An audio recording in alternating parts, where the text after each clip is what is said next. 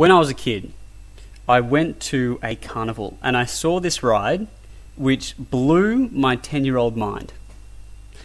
It was one of those hollow spinning cylinders. Looks a bit like this, and the cylinder is spinning around. So we'll say the front is coming that way and the back is going out that way. And inside, people are pressed up against the wall like that. And when you get in it, you find that you can take your feet off the platform and you just don't fall down to the platform like that. And it's almost like you're being stuck to the wall like that. And it becomes very difficult to lift your head off. And what they end up doing is they can. Oops, no, I want to. They end up tilting it on its side like this. So that when you're at the top, you're actually looking down directly at the ground underneath you like that. And it's all a very strange experience. This is a great ride because it allows you to experience the concepts of circular motion in a fun and exciting way. We're also going to look at a question involving this ride. And this is one of my favorite questions. So, the ride, let's say, first of all, it's not spinning, it's just sitting there. If you place a person against the wall there, you would expect them to fall directly down like that. But once you start the ride spinning, provided there's a little bit of friction on the wall here, they will stick. And if there's no friction, they'll fall down like that. And that's something that I figured out when I was 10 because I was on this ride with a few delinquent friends who would either spit or take a mouthful of water onto the ride and then in the middle of the ride splatter the water on the wall next to them. And whilst they were stuck there against the wall, the water itself would slowly drip down uh, disgustingly to the bottom of the ride there. So that told me that there is a requirement for some friction to keep you there. If something doesn't have friction keeping it to the wall, it will fall. We're going to answer a few questions about this particular ride involving forces. It's got a radius of three meters, a period of two seconds. So every every two seconds, uh, the person passes a particular point. It takes two seconds for them to go around one full circle. The person has a mass of 81 kilograms. That's my goal weight. I'm slowly getting there. Take a lot of, takes a lot of rice to get from 74 to 81. And we're going to figure out these concepts the centripetal acceleration, the net centripetal force, and then we're going to figure out the required normal force to keep that person sitting there. Centripetal acceleration is one we can do right now, since the formulae only require either the speed and the radius or the radius and the period. We have the radius, radius here and the period here, so let's figure that out. AC is equal to 4 pi squared r on t squared, which is equal to 4 pi squared times 3 over 2 squared. 4 times pi, oops, 4 times pi squared times 3 over 2 squared.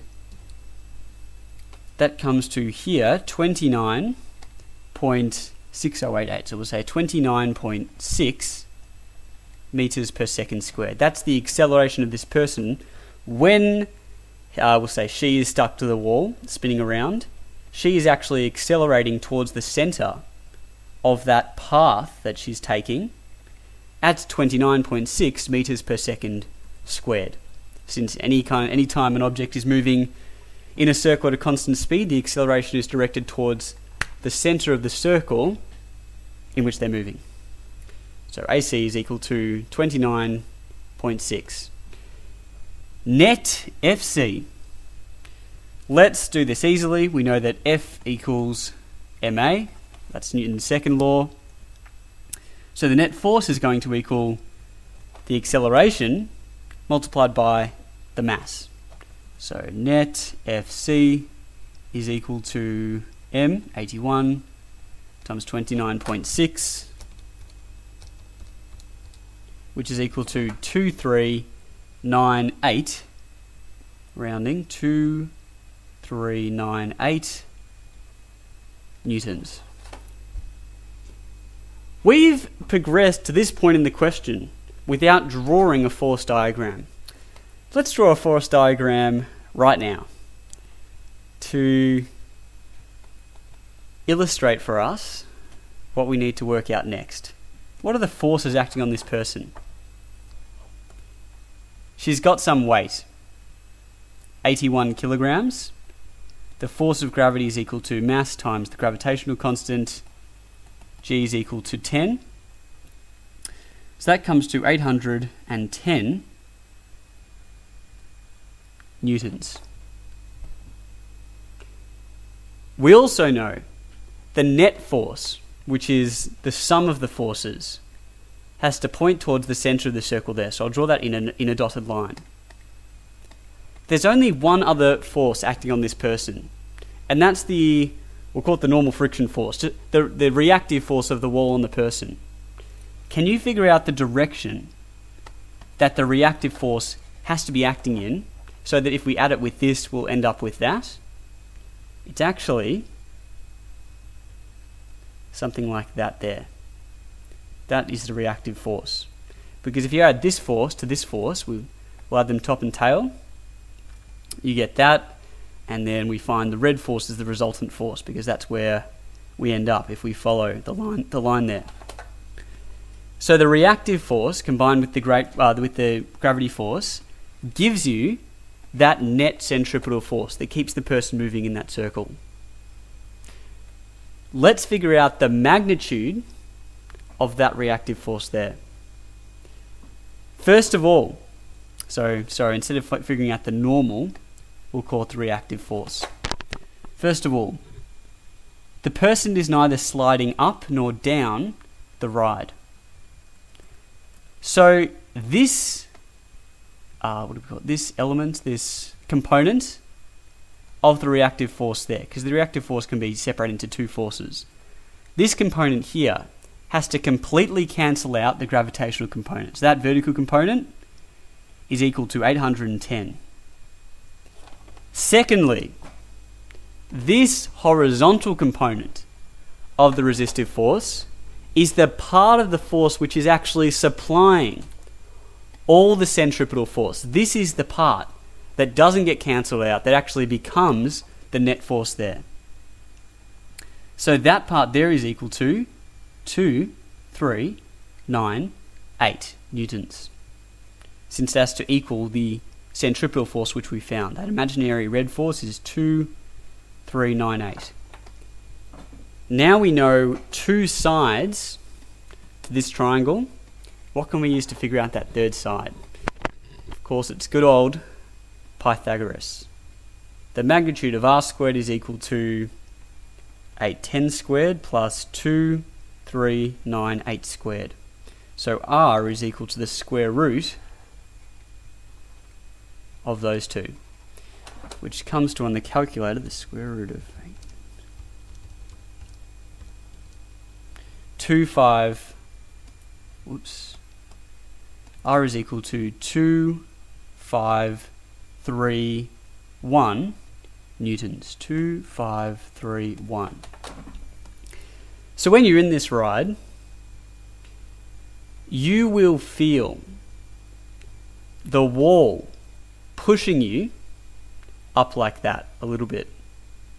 It will be push. It, you won't move in that direction, but that's certainly the force you'll feel. Your skin will be a little bit tight because it's like if you were to bend a knee against a mat and push that way, the mat would push backwards up like that since you've got two forces going on the gravity and the driving force.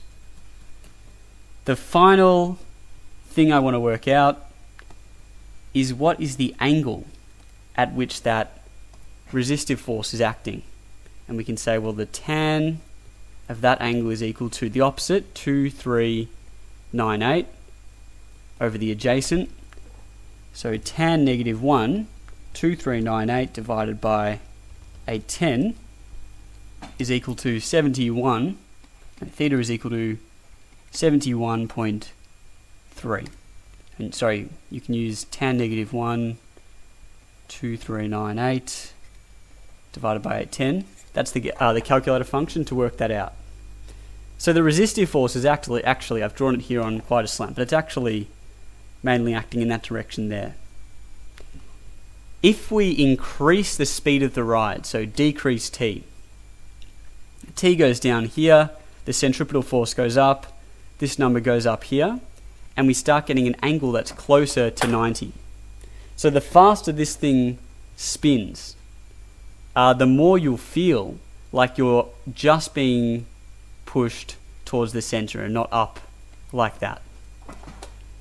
This kind of angle work is more relevant when we try those, oh, what do you call them, totem tennis questions, uh, which will be in the next video.